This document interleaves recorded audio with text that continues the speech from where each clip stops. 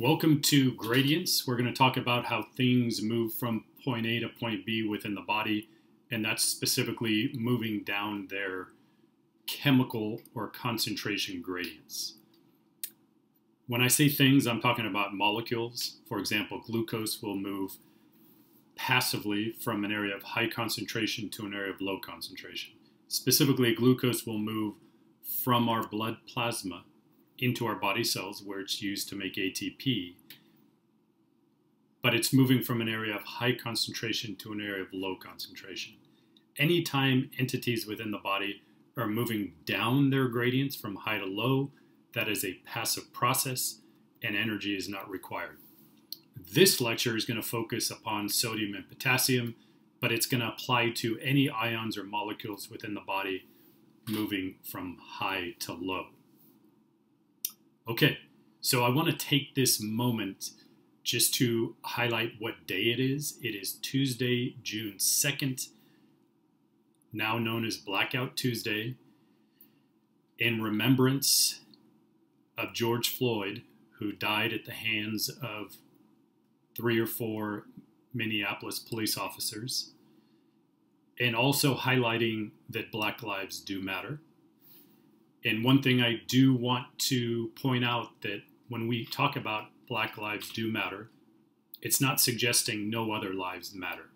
What it is suggesting that it seems like specific bureaucracies, institutions, governmental agencies within this country forget that Black Lives matter. But Black Lives absolutely matter. And this is really significantly important to us in, in education because certain socioeconomic groups within this country, state, and even in this community have been academically marginalized for years. And that continues to be perpetuated and causes problems with our educational system and our society at large. So I just want to point out Black Lives do matter we need to do something collectively, locally, and nationally to bridge that gap. So, without further ado, we're going to talk about something less important than that, and that is ion gradients. Okay, so if we look at this slide right here, this is showing a ball rolling downhill. And the whole importance I'm trying to show with this slide is that that ball will move passively downhill from high to low, from an area of high elevation or higher elevation to an area of low elevation. That is a passive process.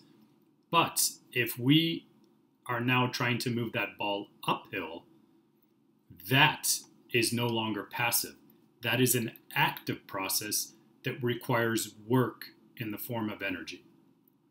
Okay, so what we're really focusing on on this lecture, once again, is the passive process of ions or molecules moving down their chemical gradients, otherwise known as their concentration gradients. So let's take a look at this body cell right here. All body cells, at least in normal situations, have a high concentration of sodium outside of the cell and a low concentration of sodium inside of the cell the way this is set up, which is generally how the, the body is set up, is that sodium always wants to move into cells, down its chemical gradients, otherwise known as its concentration gradients. Now, just so we're clear, sodium, which is a charged atom, requires a channel protein to move into the cell. And that's what I'm showing right here in pink. This is a protein channel that sodium must move through to get past the phospholipid bilayer of this cell membrane. Nonetheless, as long as that channel is there and that channel is open, sodium will move down its gradient from an area of high concentration to an area of low concentration. If we look at move this here really quick. If we look at potassium, potassium has a similar situation. The only difference between potassium and sodium is that there is a high concentration of potassium inside of cells and a low concentration of potassium outside of cells. So that will suggest that sodium will move down its chemical gradient, otherwise known as its concentration gradient, from high to low, which is from inside the cell to outside of the cell.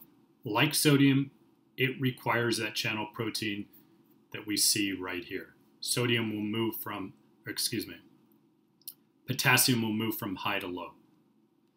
Okay, so we just talked about chemical gradients. But we also need to talk about what's known as electrical gradients. And that is related to what's known as a voltage within our body cells. Our body cells tend to have a voltage which is a differential in charge between the outside of the cell and the inside of the cell. So what we can see here, it's positively charged on the outside of the cell and negatively charged on the interior of the cell. Generally speaking, the charge within cells is going to be roughly negative 70 to negative 90 millivolts, and that is somewhat variable. And just so we're clear, as I'm talking about all of this in this lecture, I'm really talking about cells at rest.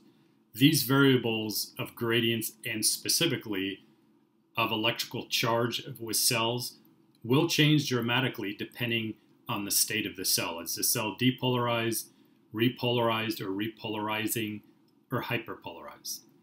But at rest, our body cells have a negative charge on the interior and a positive charge on the exterior.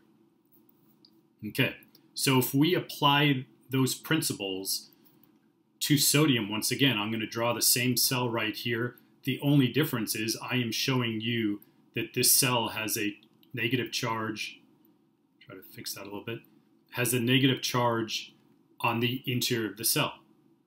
So now we see two variables that are influencing the movement of sodium into that cell.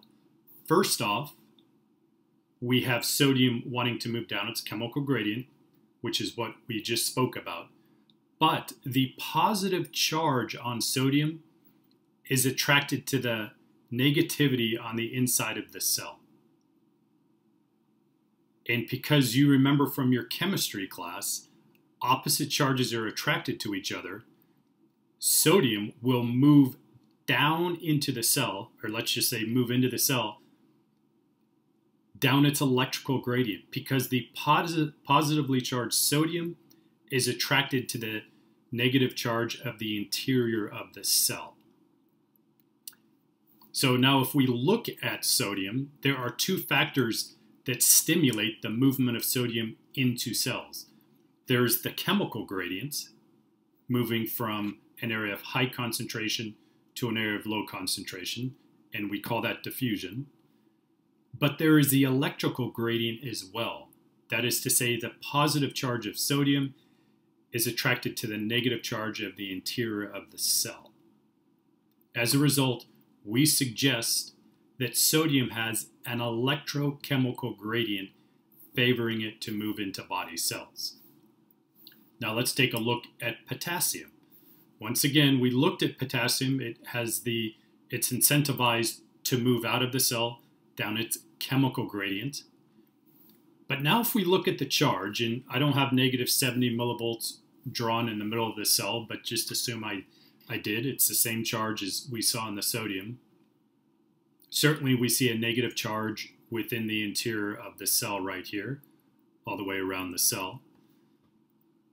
But we talked about potassium wanting to move down its chemical gradient from inside the cell to outside of the cell. And that's no different in this picture. But one thing you may notice is that potassium is positively charged. In full disclosure, these positive charges that I have on potassium and previously on sodium really should be superscripts up here. Just in this program, there's no way, at least I don't know a way to make it a superscript. So the positive charge should not really be down here at the bottom. It should be up here, and forgive me for that. Okay, so once again, potassium wants to move down its chemical gradient. But potassium, the positive charge of potassium, is not attracted to this positive charge on the exterior of the cell. As a matter of fact, based on charge alone, potassium would prefer to stay in the cell where it is negatively charged. Once again, opposite charges are attracted to each other. But in this situation, potassium's chemical gradient is so large that it disregards its electrical non attraction to the exterior of the cell.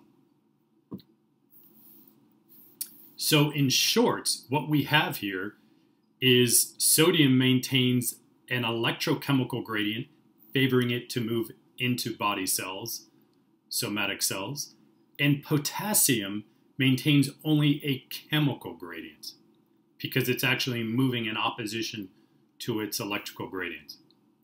That's it. Don't forget George Floyd, Black Lives Matter. We'll see you next lecture.